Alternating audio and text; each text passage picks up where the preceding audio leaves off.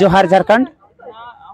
जे के ए न्यूज़ में आपका स्वागत है और मैं चकुलिया प्रखंड के जामडोल क्षेत्र में हूँ। और ये जो पेपर मिल है यहाँ पर लगातार पाँच दिनों से जो धरना प्रदर्शन कर रहे थे और इसमें जानकारी लेते हैं जो प्रशासन की टीम आई थी और इसमें इन लोगों को जीत हासिल हुई कि नहीं हुई या फिर ये जो धरना स्थल में इन लोगों को क्या आश्वासन दिया गया या फिर जो कुछ भी हुआ इन लोगों से जानते हैं।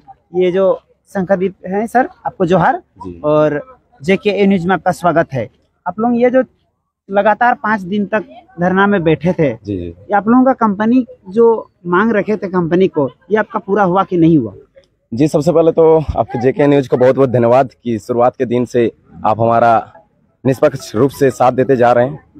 और सबसे पहले तो आज यहाँ पर उपस्थित तमाम माताएँ, बहनें, ग्रामीण, समस्त जितने भी समर्थन में जनप्रतिनिधि थे, सभी को ग्राम प्रधान थे और जेबी केसेस के जितने सभी सक्रिय सदस्य थे, सभी को तहे दिल से शुक्रिया कि आज आप लोगों के साथ के कारण, आप लोगों के एकता के कारण आज हमें जीत हासिल हुई।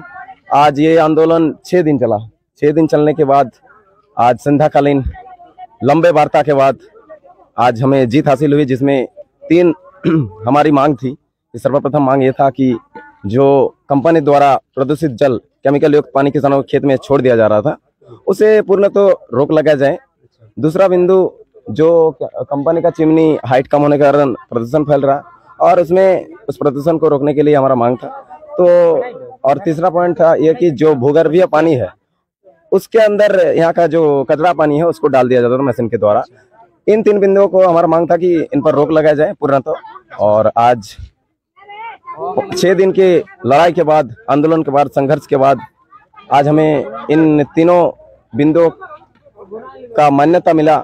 उन लोग सहमति जताए कि लिखित रूप से कि हम लोग इसे पूर्णतः तीन महीने के अंदर बंद कराने का काम करेंगे। और ये प्रशासन के मौजूदगी में है, जिसके लिए चकुलिया थाना से जितने भी आए थे पदाधिकारी सभी को अनेक अनेक धन्यवाद और सबसे पहले और लास्ट में ये कहना चाहूँगा कि जब जब ऐसा अन्याय होगा हम जेबी के सक्रिय सदस्य चट्टान के जैसे अन्याय के खिलाफ लड़ेंगे खड़ा होंगे और ज़्यादा कुछ नहीं बोलूँगा बहुत बहुत धन्यवाद। आपको बहुत बहुत धन्यवाद। आप लोगों का लगातार मांग था कि प्रशासन की टीम भी आए और यहाँ पर जो भी हम लोगों का हो रहा है वो उसकी जानकारी ले और प्रशासन भी आई।